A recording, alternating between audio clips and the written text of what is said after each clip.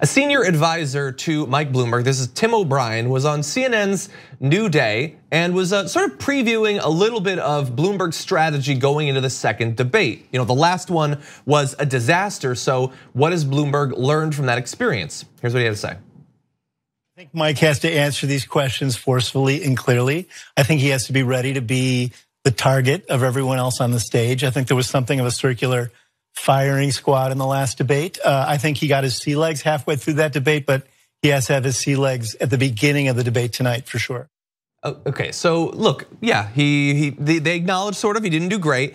I I would debate the point that he got his sea legs halfway through and what was doing very well for himself. That didn't that didn't come across. Well, he said communism in a very you know whiny voice, so mm -hmm. that counted as getting his sea legs. I yeah, guess. yeah. I guess in the second half maybe they focused on him less, and so that's good. Um, but anyway, uh, look, so that's that's just a little preview of he's going to try to do better, I guess.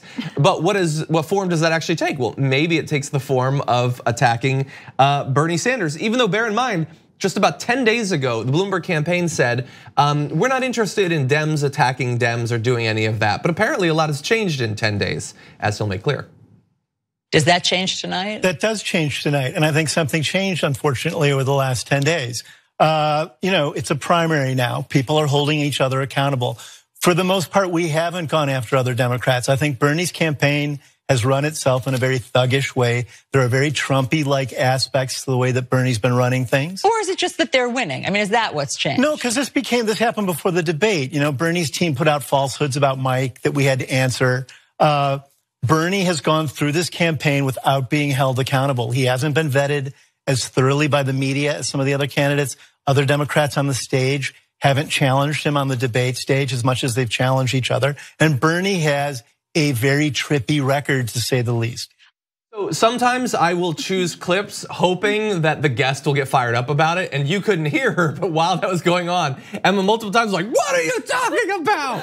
I mean, that he hasn't been vetted. All the other Democrats have done is just go after him. And by the way, mm. other Democrats, Bloomberg is not a Democrat, so stop referring to Democrats as if you're a part of that field. Mm -hmm. You're way less of a Democrat than Bernie Sanders is, who is on Democratic leadership, by the way.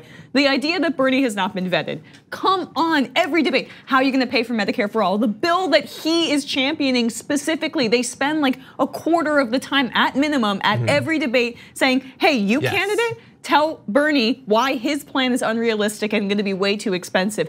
It's just absurd. And uh, you know, I get that that guy has to make his case for his candidate, and I'm sure he's getting paid three times the amount that other campaign advisors would be getting because that's what Mike Bloomberg's doing. He's buying off people so they can stomach working for such a clown. But you know that that that so yes that clip got me fired up. It did it did. And uh, yeah uh, by the way quick little note on the paying people. And we've been saying that isn't necessarily going to buy you loyalty um, so Ken Klippenstein, um, friend of the show, whether he wants to be or not, um, so he had gotten leaked the one of the NDAs for Bloomberg campaign staff from campaign staff, and just today he got leaked talking points on why Bloomberg endorsed Scott Brown against Elizabeth Warren.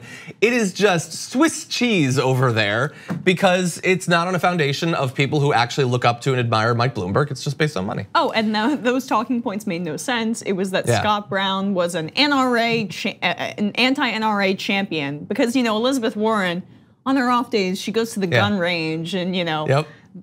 Put like eats shells of guns like she's just like yeah that's how she brushes her teeth every morning. See that's what libs think gun nuts do. They right. eat bullets. Right. I, I am I am a commie so That's true. I noted. Um, yeah and uh, Bernie's been running his campaign in a very thuggy Trumpy way a thuggy way dude won't stop talking about Medicare. What are you talking about, thugs? But anyway, that, that's what he says.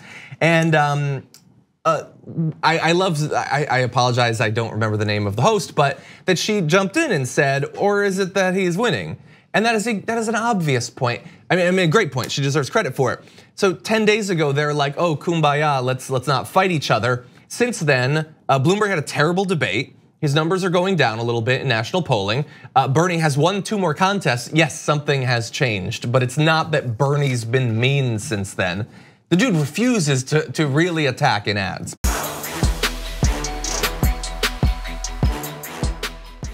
Check out the Damage Report podcast each day, wherever you get your podcasts, whether Pocket Casts or Stitcher or iTunes. You can join me as I give you the news and stories you want, with a range of co-hosts and interview guests jumping in on the fun each day. Again, that's the Damage Report, wherever you get your podcasts. And if you get them at iTunes, don't forget to rate and review. Sometimes I'll read them live on the show.